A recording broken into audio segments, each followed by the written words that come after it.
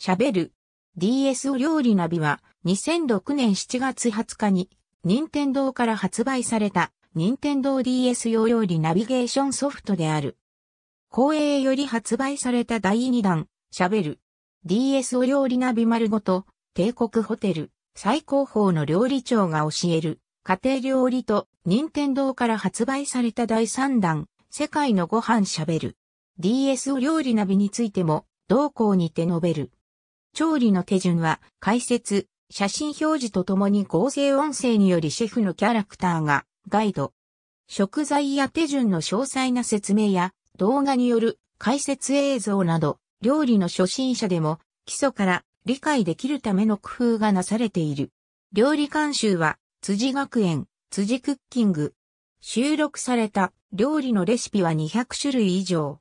第10回文化庁メディア芸術祭エンターテインメント部門優秀賞受賞。主に上画面は調理の手順を記した表示。下画面はタッチ操作パネルとなっているが、料理中に手が離せない時も音声入力による操作が可能となっている。音声で可能な操作には、などがある。なお、タイマー機能を使用した時には、待ち時間用にゲームウォッチ、シェフを遊ぶことができる。喋る。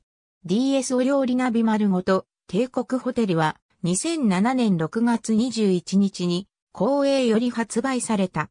ゲーム機本体が入る特製ポーチがセットになったものも同時発売。帝国ホテル総料理長及び、同ホテルに出店している、ナダマン、伊勢町、吉町、寿司源、北京、サンアップローズの6つの料理店のシェフら7名が、監修する約200種類のレシピを収録。ゲーム中に登場するシェフのキャラクターはデザインが変わり、帝国ホテルを思わせるものとなっている。喋る DS お料理ナビというタイトル自体は、任天堂の登録商標のため、パッケージやマニュアルに、それを示す記載がある。音声ナビには、喋る。DS お料理ナビと同じ音声を使っている。世界26カ国、総計313種類のレシピを収録した、世界のご飯喋る。DS お料理ナビが2008年12月4日に発売された。今までの DS お料理ナビ関連作品は日本国内のみ発売だったが、今作は海外でも発売された。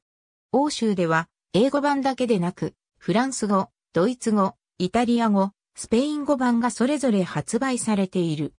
レシピが一新されるとともに、機能面では Wi-Fi 人気料理ランキングが新たに加わり、同機能を通じて、任天堂 Wi-Fi コネクションに接続したユーザーに人気のレシピをランキング形式で閲覧できるようになった。その他にも細かな改良が施されている。料理監修は、喋る。DS お料理ナビと同じく、辻学園、辻クッキング。タイマー機能を一度使用すると、ゲームウォッチ、エッグをプレイできるようになる。優秀賞から喋る。DS お料理ナビ受賞作品、エンターテインメント部門第10回2006年、文化庁、メディア芸術祭歴代受賞作品、文化庁メディア芸術祭2018年4月6日閲覧任天堂株式会社2009年3月期決算説明会参考資料喋る。DS お料理ナビ丸ごと帝国ホテル最高峰の料理長が教える。家庭料理に関するカテゴリー。世界のご飯喋る。DS お料理ナビに関するカテゴリー。ありがとうございます。